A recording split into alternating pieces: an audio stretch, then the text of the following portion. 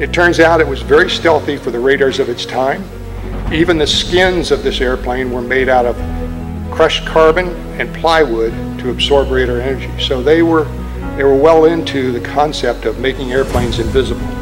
We call that Generation Zero.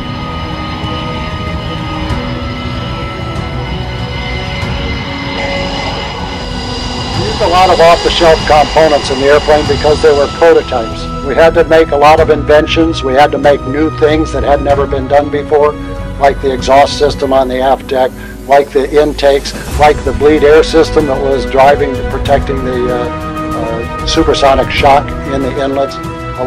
I don't believe I'm at liberty to tell you. It was a very fast airplane.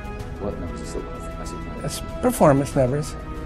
Well, I would say at least two times the speed of sound, maybe a little bit more. The only thing I can say is we have documented uh, numbers to show the super cruise number is very, very good. They said they super cruised. I don't know the true speed, um, but it had to be fast the way the YF-23 was shaped. Um, it was so sleek. It had to go fast. Fastest isn't the measure, best is, is the measure, and best is to do what it's supposed to do, win an air battle. And it, it, that doesn't always go to the airplane that, like a rocket plane could go fast, but it'd be going somewhere, but it wouldn't be in an air battle. I have to just interject. It isn't very useful.